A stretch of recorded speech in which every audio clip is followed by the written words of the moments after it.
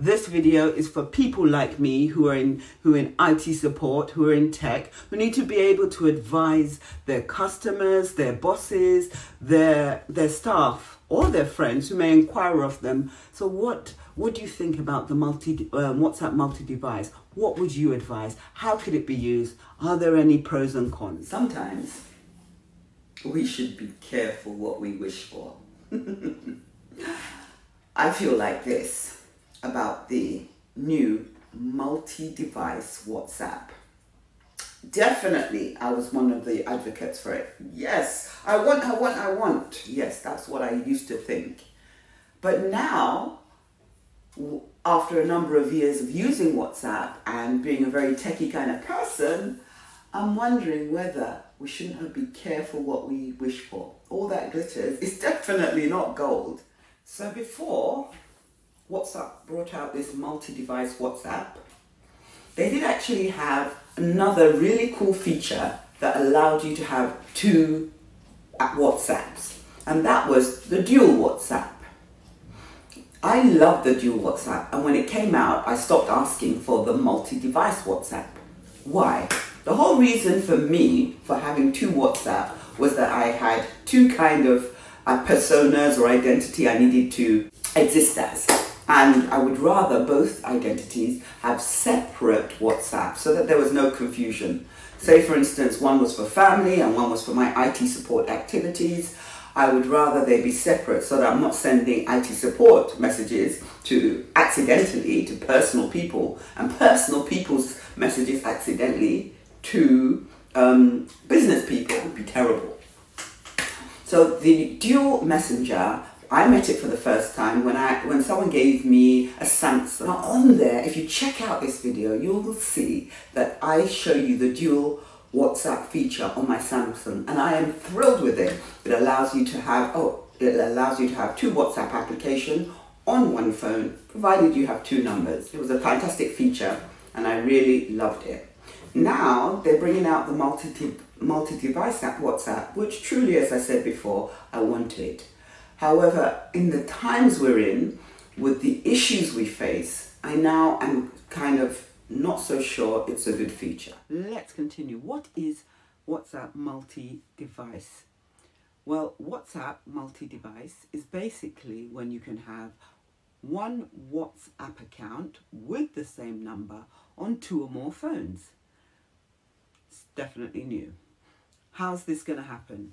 Well, it involves having the original phone, the phone where you actually downloaded WhatsApp the first time, where you have been, which you have been using all this time, you will need to link it to any other phone that you want to actually carry that same account.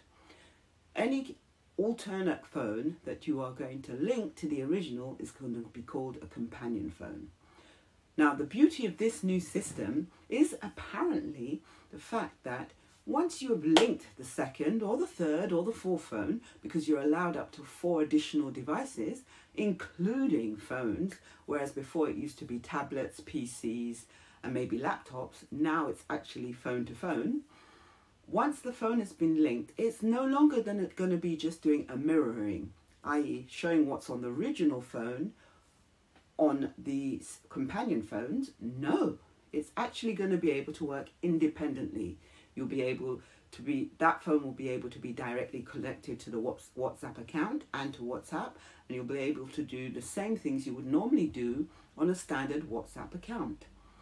Apparently, Meta and or Facebook have taken a lot of time to kind of suss this out. Apparently they're using some new security technology to ensure that the end-to-end -end encryption that you get in a standard WhatsApp account is it continues to perform in that same way, almost like a cloned account on the new device. It's actually account that works with the same end-to-end -end encryption. So once you have linked it, it's almost like it bundles up a copy of your messages and whatever else you have in the original WhatsApp account and it sends it through an encrypted pipe all the way to the new device where it's unpacked and installed so that when you flip up that phone, it's ready to go, it's working. So all the features on the on the or I shouldn't say all, most of the features should be available on the companion phone. Now, when that um, synchronization occurs in most phones, most things should be available. But as you can imagine, and if you know tech to any degree, you know that going across phones, i.e., from an Android To an iPhone, interoperability issues might and compatibility issues may pop up. So you might not get exactly everything that you have from one phone to the other, but essentially you get most of it. Um, another feature of this, and I think this was probably a security feature, though I'm skeptical, and I'll tell you why later, is the fact that the original phone, the very first phone that you downloaded and you started using WhatsApp on, the one that you use as the master for linking all the rest, that phone has to be active. If it is not active for more than 14 days, they immediately log out all the companion phones. I don't know, and I'll have to check whether it actually also logs out the main phone. Main phone, but that's something that it's a security feature, but mm, I have some reservations on that. So, what are the benefits of this multi-device WhatsApp? Clearly, there are some benefits, especially if you look at team situations. Number one, if you run an IT support team and you have only one IT support number, this is cool. It means that all your IT support staff can interact with the IT support WhatsApp account on their different devices and deal with the queries. There is a flip side to that. We'll deal with that in the negatives. Also, if you are a concerned parent and your child is just beginning her forage into instant messaging and you want to make sure you keep them safe, I kind of see this kind of feature as being very useful for that. I'm not sure it was intended for that, but I do see it as a useful feature. End-to-end encryption, companion phone, they don't mirror, but every time a message is, anything changes on, on the WhatsApp, whether it be on a companion or the original, the other device gets updated. So how is this useful? Well, if you just have a child who's just beginning to get into instant messaging, they want a WhatsApp on their phone, you could actually give them a companion WhatsApp to your original WhatsApp, and then you can just monitor their progress until it's almost like having training wheels on a bike. You give them the companion device with the WhatsApp on it, and you just watch them for a little while to ensure that they're using WhatsApp wisely and they're not getting any creepy people come, coming up on them in their WhatsApp. So that's another way to do it. Anything that involves teamwork, WhatsApp, WhatsApp multi-device is going to be cool. Also, if you're a person who by day you are a high-powered techie who deals with numerous people and you have a phone for work and your WhatsApp is ting ting pinging along there, but by evening you are a sensible, down to earth parent who really doesn't want all these phone calls from all your clients coming through in the evening, but you do need to keep an eye on the WhatsApp messages, then by day you'll have your business phone or your day phone, and by night you can easily link it and transfer to your night phone and have your WhatsApp on it and you're able to keep monitoring the situation without having all the negatives of a business phone at night where people can call you anytime, anywhere. Does WhatsApp multi device have any negatives? Yes, I think it does. Four points I'm going to make. One is on accountability issues, the other one is security, next one is cross compatibility and the final one is lockout ability. You know, I like my abilities. Let's deal with the first one accountability. Now, all well and good if it's you that's using the multi WhatsApp multi device and it's your devices that you are flipping across from one to another, there is no problem. Just don't leave that device anywhere where it can be accessed by anyone else. Because if you do, 14 days is the lockout period. If the if the um, primary or the original phone with the original WhatsApp is inactive for more than 14 days, that's the only time they'll lock you out, unless you physically decide to go and unlink that phone. But if you didn't, and that your your companion phone got into someone else's hands and they happen to also be able to open it that does not bode well for your identity, for your information, for your security. So that is one of the issues you need to consider in terms of security and securing yourself. That 14 day period of lockout is scary for me. It's scary because if anyone else gets a hold of your phone, on WhatsApp, they can basically mimic you. That's as good as being uh, as having someone um, break into your account and be pretending to be you. Not the greatest thing.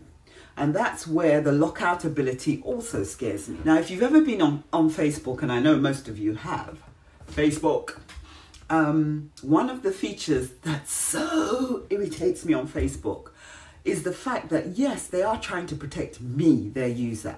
But sometimes when you forget the password or you're not quite sure, it's been a long time since you've used the password, they now say you have to verify yourself before you can log back in. And then it takes ages and then they start that when you get anything wrong or you can't verify yourself you're now locked out of your account. And sometimes for some people this has been permanently or there are features that they constantly they keep disabled until they figure that you want to verify yourself all this can be stressful and if you built your platform on any of these social media media systems, then you need to be very careful. You need to be very careful because it is very possible and it is very easy to be locked out of them. So, going back to WhatsApp multi device, what happens when they figure that, okay, there, one of, there has been some kind of uh, break into one of your phones, maybe your companion device or your original, are they locking everybody out or are they just locking the companion devices out? Or, or are they locking the companion devices out and the primary device. And how do you re-verify? How is it just a matter of me giving you your phone number, or am I going to have to give you Bible and verse, passport, driving license, and all of that? So that concerns me because I know how stressful it is to do that. And many people are wary of doing that because there's never a person on the other end. They always want you to upload it to some space in the sky with no one verifying that it's them or that they've received it or that they will protect your privacy. Now, I talked about other people being able to, in teams being able to have the same same WhatsApp on different phones. And it's a cool idea. Imagine a director, if you've ever worked with high net worth people, directors or VIPs, they usually have a number that their PA also monitors for them and filters the information through for them. So, can, so this multi-device with the primary and the companion would work well in their scenario. But there is also the issue of who will take accountability? Is the WhatsApp going to show that even though it's on the companion phone, that it was the PA that was answering and not the not the real owner of the phone? In a team situation, will the team members' names be appear on the WhatsApp?